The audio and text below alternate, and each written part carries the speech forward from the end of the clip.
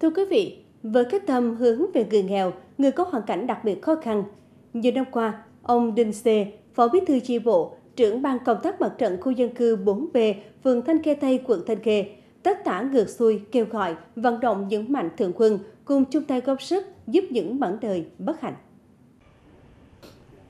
Từ năm 2017 đến nay, ngôi nhà của ông Đinh Xê ở khu dân cư 4B, phường Thanh Khê Tây, quận Thanh Khê, trở thành nơi tập kết lương thực thực phẩm và là nơi để những người nghèo, người có hoàn cảnh đặc biệt khó khăn, hàng tháng đến nhận sự giúp đỡ.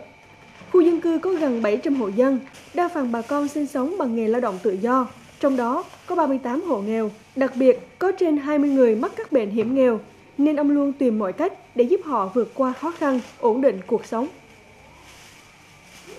Đặc biệt dưới này, là biệt hộ nghèo, hộ cận nghèo, rồi hộ khó khăn, thấy họ tội quá ăn ở mưa nắng bụi thì mưa bùn nước nước lên cũng, cũng người ta hơi khó.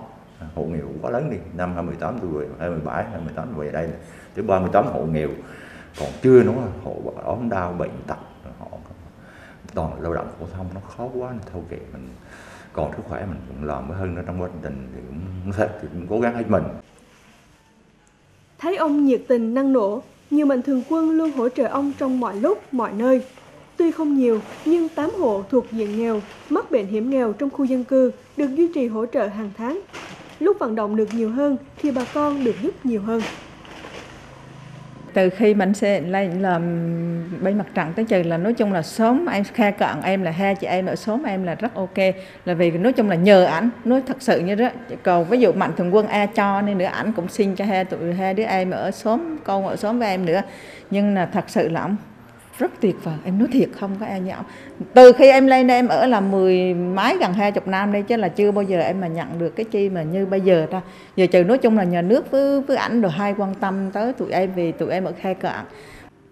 Ông Đinh Dê luôn trăn trở với nỗi vất vả của người dân, nhất là các hộ nghèo, hộ có hoàn cảnh đặc biệt khó khăn. Trong đợt dịch vừa qua, ông đã vận động được trên 60 triệu đồng giúp các hoàn cảnh khó khăn không có việc làm tại khu dân cư làm thế này nó cảm thấy cái niềm vui và được giúp đỡ bà con thì mình nó thành thật nó cũng cũng, cũng khác gì đi tu.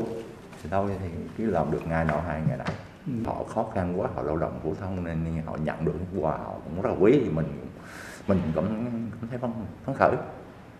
Nên phấn khởi gì làm thấy anh mang lại cái hiệu quả rất cao trong công tác công tác từ thiện và công tác chữ thập đỏ tôi nói tôi nói là bởi vì anh đi xin chứ không phải xin cho anh. Mà anh xin cho xã hội. Vì vậy cho nên là um, uh, anh nhiệt tình lắm.